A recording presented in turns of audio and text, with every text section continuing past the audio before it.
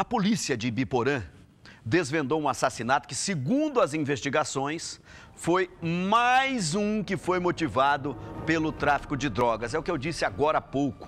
Um dos suspeitos era amigo, porque com um amigo desse, meu amigo, o cara não precisa de inimigo. O jovem de 19 anos foi preso em um sítio na cidade de Sertanópolis. Wesley Cícero Toledo, de 19 anos, seria amigo da vítima, mas arquitetou todo o crime de acordo com as investigações. Dia dos fatos, o Wesley o chamou por três vezes, né? Até que na terceira vez ele, ele saiu da residência foi quando chegou o adolescente e efetuou os disparos contra a vítima. Wesley, mais conhecido como Zelei, relatou outra versão. O movimento foi que eu fui na casa da minha irmã pegar a caminhonete do meu cunhado, que eu estava trabalhando na hora. Cheguei lá, o neném saiu na janela e chamou eu.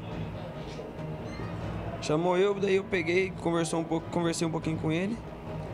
Não, eu peguei e falei, falei oh, vou descer aí que eu tenho que trabalhar. Mas nisso meu cunhado já ia pegar a caminhonete também e já ia descer. Da hora que eu montei na moto, não vi mais nada não, só... Aí você foi embora e o crime aconteceu, foi isso? Na hora que eu tava saindo com a moto, aconteceu.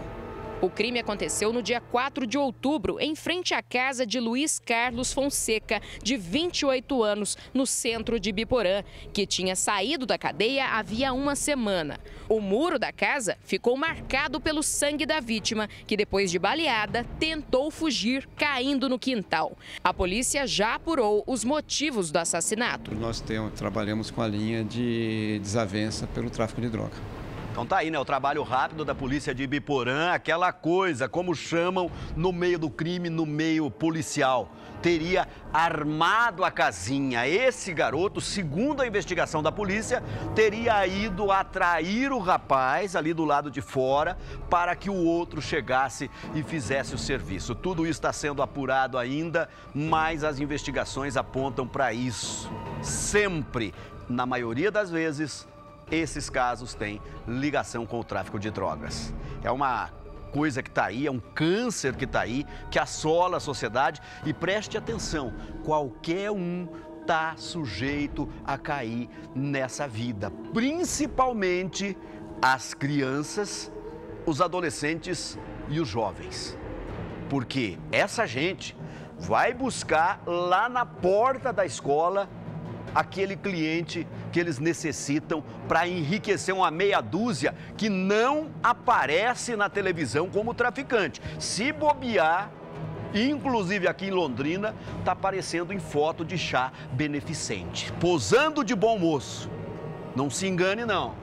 O buraco é mais embaixo. Esses que matam e que morrem não são os verdadeiros traficantes. Eles são os operários do tráfico. Os traficantes de verdade, estão tomando uísque importado essa hora, olhando na televisão e morrendo de dar risada da família dessa gente que envolvida nesse caso aí. Vai ficar todo mundo agora de todo lado, os pais, né? Porque um vai preso, porque o outro morreu. É assim que funciona. Estou falando demais?